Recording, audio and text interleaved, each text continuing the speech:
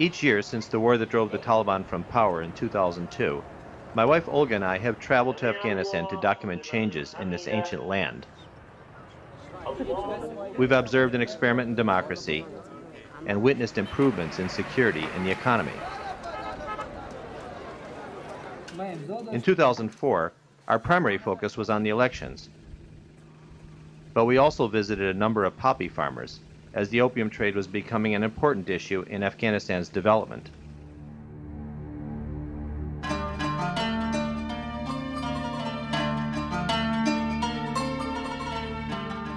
Opium production is the largest single most important threat to the well-being of this country. According to the United Nations, 87% of the world's heroin comes from poppies grown in Afghanistan. The opium trade supports farmers, merchants, warlords, politicians, Taliban supporters, and smugglers, ranging from local dealers to international criminals. قاچاق قاچاق پولش میره به جیب قاچاقبرا و نفع طبیعی میره به- به جیب باندای حرفه‌ای دنیا قاچاقبرای حرفه‌ای دنیا In 2005, the UN warned that Afghanistan is in danger of becoming a narco state, controlled by drug traffickers. In response, the United States put $780 million into Afghanistan's anti narcotics efforts for the 2005 harvest season. but the results were mixed. Only two of 30 provinces reduced opium production at all. When we returned to Afghanistan in 2005, we decided to investigate firsthand the impact of opium on the economy and on people's lives.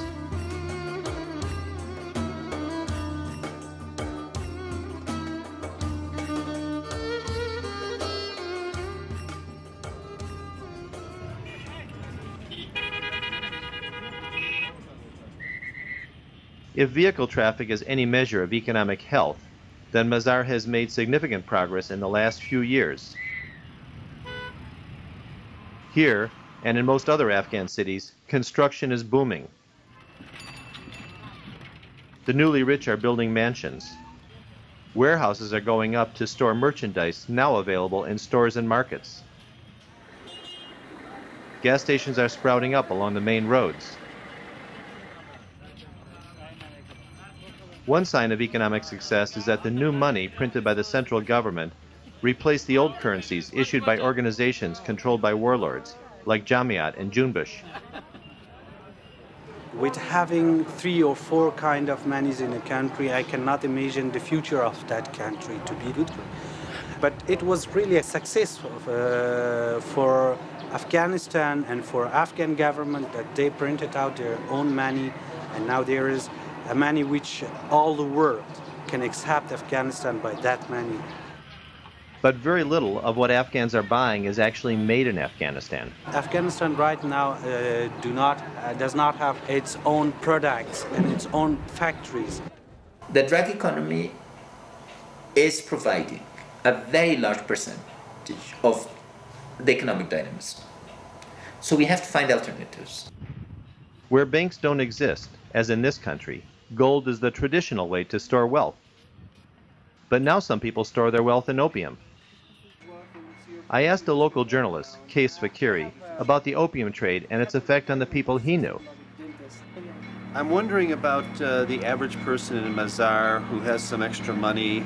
Can they make any uh, profit off the opium business? Yeah, the people are the people who have extra money.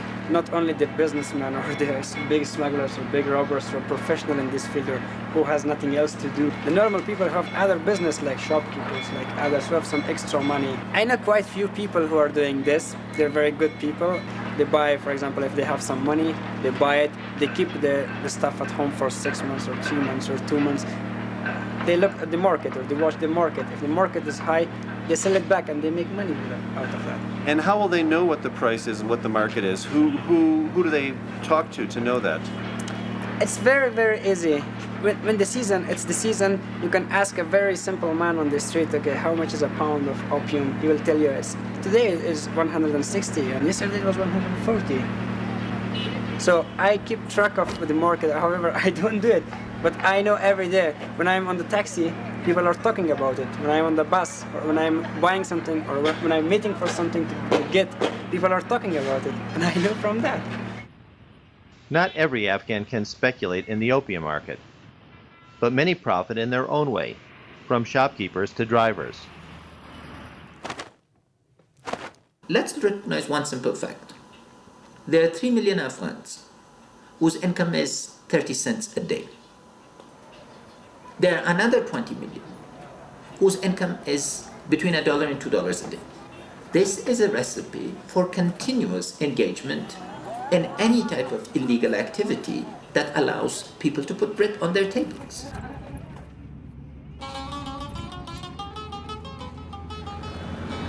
The opium trade has clearly infiltrated all levels of society. It starts with the farmer, and poppy farmers are not hard to find. A UN report says that land under poppy cultivation in Afghanistan decreased by about 20% in 2005, thanks in part to government efforts. But in fact, production simply shifted to more remote areas, and combined with good weather, produced another bumper crop almost as large as the previous year. The price of opium is based on supply and demand, and is manipulated to some degree by the biggest smugglers who hold large inventories. With less people growing, you would think the price of opium you know, would go way up. But everyone tells us now the price of opium is down. تاجرایی که هر کدامی از اون مثل که داسلاندا مواد تریاک پیشان است یا او را پودر میسازند از چند کیلو تریاک اه، مثال چقدر پودر بساخته میشه این پودرهای اینا که خلاص شدن بعد از او مرا تو را در که پیسه میته به ولایت ها و ولسوالی ها تنظیف می‌کنه که برو میگه قبلا میگه البته سال گذشته شما تو اه، ذخیره ای تریاک پیش خود داشتین نگاه به قسم نگاه کردن که تا قیمت از این بالا ولی آن یس این صورت که بسیار مردم ها دارن تنها خودم شرط کس این را بفهمان خوب سری را خلاص کن. اگر کس ضروریت به پیسه داره پیشخور نیست. اگر ما پیشخور بودم خب تریاک سودا کده میرم در اینای مال که بلند شوی قیمت شود. متوجه هستی؟ ما بی که همون ساده همون ضرورت اونم یک پا یا دو پا کیلو سه کیلو تریاک که ما سودا می‌کنم ضرورت خودم مرا خودم کسی که Can we go to the show us the fields where he used to grow. where he used to grow. Yeah, and, and maybe and maybe where he has some now. Like no, there's no flowers now, so ah. there's not much to see. Just yes. the little plants. plants. Maybe if we could see the little ones. For the tea. Yeah.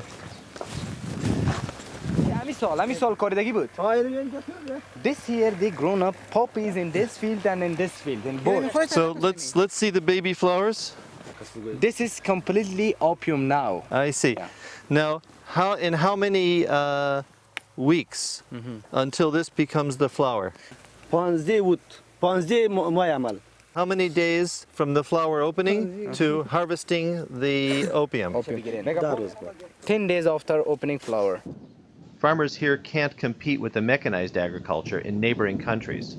The poppy's drought tolerance and labor-intensive harvesting make it an ideal crop for Afghanistan. Mm -hmm.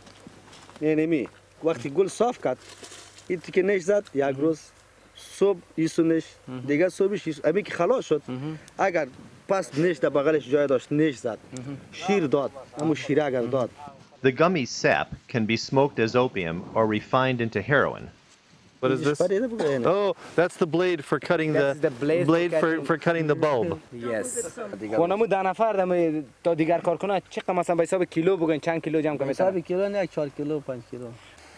این طور است. اینمی کرد است نه؟ ده نفر اینجا کار می‌کنه خب. ده نفر از یک قسمت که می تو زد پایین اونجا تار انداختگی است. بله. یک قسمت دیگه ش با صبح کیار جمع کرد تا ده بجه را بعد از ده بجه باز قسمت دیگه ش می‌زنه دیگه. مجر... Cell phones have only recently become available in Afghanistan, and they're proving a handy tool in the opium business, connecting farmers with potential buyers. A field like this one can bring in a substantial profit. So this field that goes from here to the wall, Yes. from here to the road, how many kgs will they get if this was all poppies? 70 kg, 70 kg. 70 kg, this whole field all at once. All fields, yes, round. Uh-huh. وایت معلوم میشه اگر اگر او حاصله که شما به قسم خودتان میخواین که بگیرین اگر رو بردن تقریبا اگر 7 8000 دلار میشه تقریبا یا زیادتر زیادتر Uh-huh. خب اینا علی It's من good. پخته کنم But a field of poppies earns 60 times more than a field of cotton. Cotton, $120. Yes. Poppies, $7,000. $7,000. While $7,000 is a huge income for an Afghan farmer, the heroin made from this crop will bring about $4 million on the streets of London. Drug economy is roughly 20 billion the share of the Afghan peasant has declined. In 2003, that share at the farm gate was estimated about 1.2 billion. Now, in 2004, it was estimated 600 million. On the other hand, the share of the processors, but particularly of traffickers, and most of the traffickers, mind you, are not Afghan, they are international, uh, is recent. When opium is cultivated, there's a lot of force relationship. The cultivators receive money during the planting season in cash, but they are expected to pay back in opium when they finish. And depending on the vagaries of nature, they could be further indebted. Some, of course, will make money, but some others have been continuously losing their share. The American dollar spent on eradication far exceeded the money poppy farmers earned in 2004. The government might have tried to buy the crop instead, but that would have just made a shortage for the smugglers and driven up the price. The opium trade is not that simple. I asked Case how it works, how sap from the flowering poppy reaches the international market. And I know it's, it's easy to buy from the farmer, but then who will they sell it back to? How do they find the people to sell it to? the Yeah, middleman. yeah. There is, uh, you know, there is the network of people doing it. For example, if I buy some for my own profit or making some money, I don't sell it to the smuggler. The smuggler has people in contact whenever he is coming from Kandahar, whenever he is coming from Helmand. He knows quite few people, like two, three people. And in advance, before he arrives here, he transfers the money and asks the people to buy opium. And these local men have networks of several people. And then they bring and they get the money. And when the smuggler is here, he don't go himself to take it. He just have all the stuff ready, packed. Then he take it back. opium is illegal, and because of it, it is moving the economy towards very heavy criminalization. Opium is undermining the central government's authority and may be a greater threat than the Taliban. So it's not surprising that the United States is encouraging drug eradication. In 2004, aerial spraying of poppy fields by the United States was blamed for making children and farm animals sick. Spraying raised such strong anti government feelings that President Karzai publicly called for an end to it.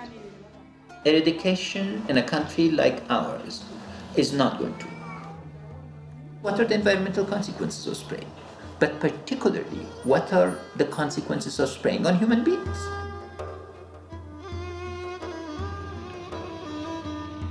I wondered how the anti narcotics campaign was affecting farmers in other regions. In 2004, we visited these poppy farmers near Shulgara, just before the harvest. Their fields lined the main road. This time we couldn't see their fields from the road. مگه جایی که البته امکانی را داره که شما تریاک بکارین اونجا خب می‌کنیم مثلا جایی که چشم پناه باشه اونجا خب می‌کنیم مشکل نیست. برای صاحب مشکل هم هست یک اندازه مشکل هم هست مشکل هم نیست. و مردم در بعض جای کشته و بعض جای هم نکشته بعض جای هم درنی اولیاس چپه کرده و از بین برده. به خاطر که همین مردم یک کمی وحده زده شدن. میگه که چپه می‌کنه به خاطر یه ترکاری با از, از, از, از مثال از پخته نمانه از گندم نمانه زیادتر چپا کرد مگه تو مولا میتخیل واقعیت داره که نظر به سال گذشته میگه. شما تو باقیات یا تو نگاه کن از تریاکای شما نه خیلی نگاه کرده این تو نفره نگاه کرده که پول دار باشن. مثلا ما که بی پول هستیم ما یک سر گندم ما بس افغانی.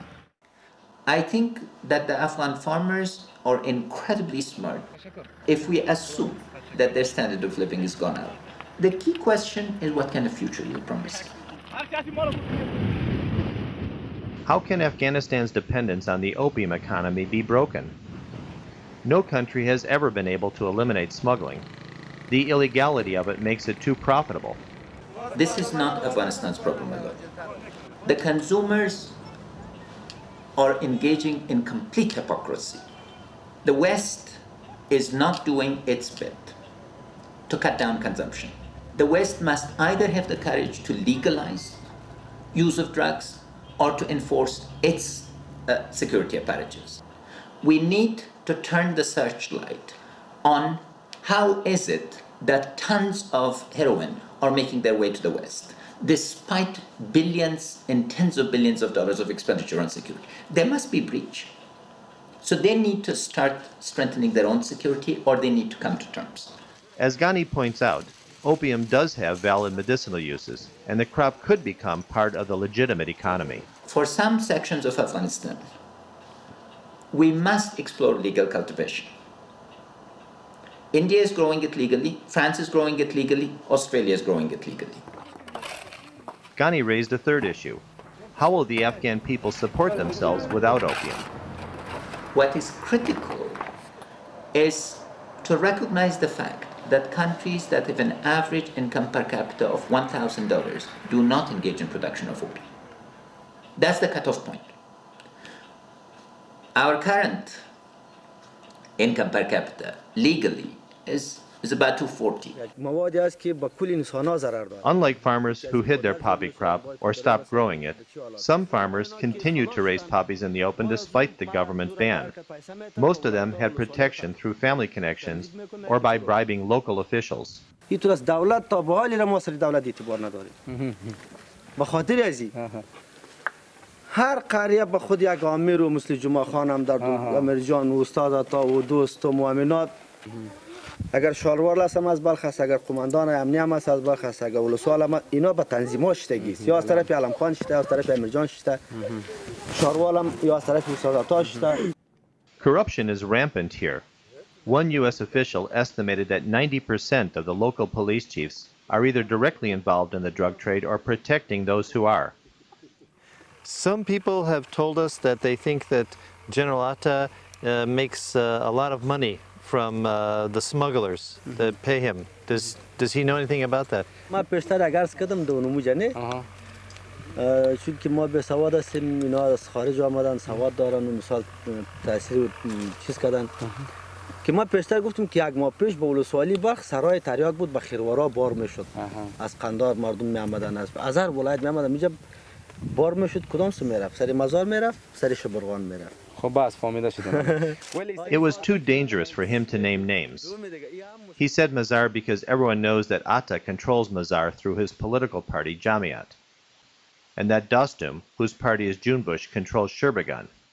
Usually, if it goes from Sheberghan, so that Jumbish guy, the in charge, he, he didn't uh, wants to name the responsible guy. Yeah. But the Jumbish head of the Jumbish was taking gets the the money. the money, Yeah, the- and from Mazar, if it crossed from Mazar somewhere else, Kabul or Kandahar, from Jamiat was Jamiat gets the commission. Of course, who is Jamiat and who is Jumbish? You know clearly. Yeah, because he says, I cannot, Atta. yes, yeah. he says I cannot oh, I- name Dostum. them. It is shame for me understand. to to I defend understand. them. I thank him for his honesty. Oh. I understand. I understand. Thank you. Tashakkur. Thank you If the opium trade was that widespread and open, I wondered to what extent Governor Atta was involved, if at all. Provincial governors are responsible for anti narcotics programs. The UN reported that production in Atta's Balkh province more than tripled. It called on the Afghan government to remove governors where opium cultivation hasn't dropped. But Governor Atta is more powerful than Karzai in this part of the country. He led the local Jamiat militia as part of the Northern Alliance that defeated the Taliban. Exactly Last year, we talked ago. with General Atta amid heavy security and noticed that he had replaced his army fatigues with a business suit. General Atta, you have much experience and are well respected in this country. What role would you like to have in the next government? افسر نظامی هم نبودیم. یه رشته مسلک انتخاب نکرده بودیم. ولی ما رسالت ما ختم شده افغانستان از شوروی از خطر تهدید کمونیسم نجات دادیم. افغانستان از خطر تهدید تروریسم نجات دادیم. حالا می‌خوایم که حکومت باثبات داشته باشیم و ما تغییر مسلک بتون بریم کارهای ملکی فرهنگی و سیاسی. General Atta is now Governor Atta, appointed by Karzai to lead Balkh province and reputed to be one of the richest men in northern Afghanistan. I asked him about the opium trade and corruption of government officials.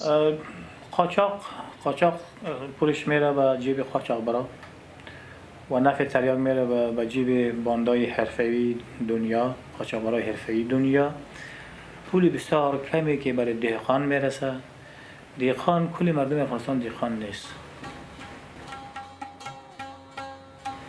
در شکی نیست که اگر بازار تریاک جریان داشته باشه دهاقی کسی ممانعت نکنه تریاک بکاره. در هیچ شکی نیست که قاچاقبرا رشد می‌کنن پولدار میشن از پولشان می‌تونه که بسیار کارا بکنه.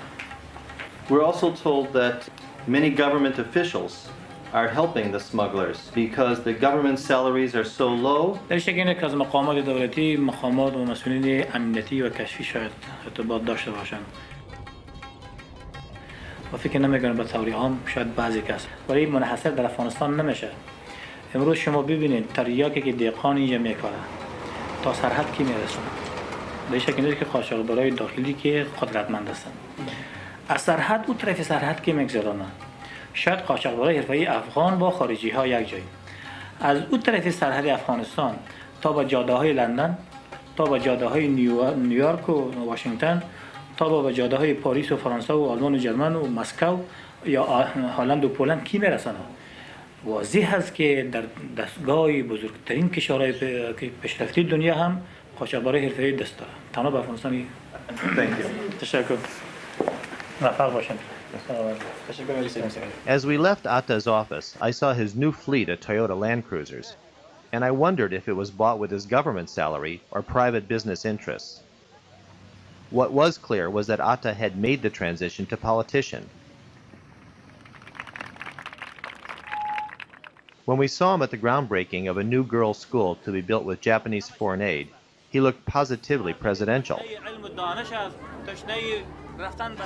Like General Atta, his rival, the Uzbek leader General Dostum, has turned to politics rather than rely entirely on his militia to stay in power. General Dostum ran for president against Karzai and got 10% of the vote, roughly the same percentage as ethnic Uzbeks in the country. To neutralize his power, Karzai appointed Dostum chief of staff of the armed forces, a newly created post based in Kabul. As a result, Syed Nurullah, Dostum's top deputy, took his place as leader of Dostum's Junbish party. In 2004, we went to Junbish headquarters and met with Nurullah to learn how Junbish was transforming itself from a military to political organization. I asked why his militia refused to disarm. اکنون در ولایت های جنوب افغانستان بالفعل طالب و القاعده موجود است بنان ما تشویش نگرانی هنوز هم داریم که خدای نخواسته نشه وضعیت امنیتی که با وجود آمده در نتیجه مداخله بقایای طالب القاعده ای برهم نخورد It was clear that General Dostum would not allow the central government to dictate when it was safe enough to disband his private militia. He would make that decision. علاوه از بلای تروریسم در دنیا بلای دیگه یا مصیبت آفات دیگه وجود داره که او عبارت از کشت و زر و ترافیک و قاچاق مواد مخدر است که در این راستا هم جنبش و مسابقه یک جریان سیاسی سهم بسیار جدی در مبارزه علیه مواد مخدره داشت. What exactly has Junbish been doing Uh, to do that. You said it's best efforts, but could you be more specific? میخواستم صحبت بکنم قطع کردن اگر شدن به هر صورت ما گروه های را آماده ساختیم و دورترین نقاطی از ولایت های شمال رفتن بالفعل اونجا عملا در قطع اشجار دست دادن و این اقدام کردن کردن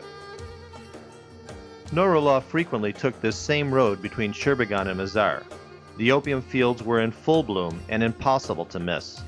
We saw Junbish soldiers in the fields.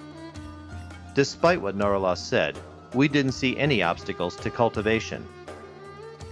Warlords may become politicians in the new Afghanistan, but as the United Nations confirms, many have kept their day jobs as drug lords. Will the power of drug money kill Afghanistan's opportunity for a viable central government? If poppy eradication efforts are successful, will it prove fatal to the economy and the government? If anti narcotics efforts fail, and they are failing, will opium profits permit the Taliban, Al Qaeda, and other private militias to grow stronger?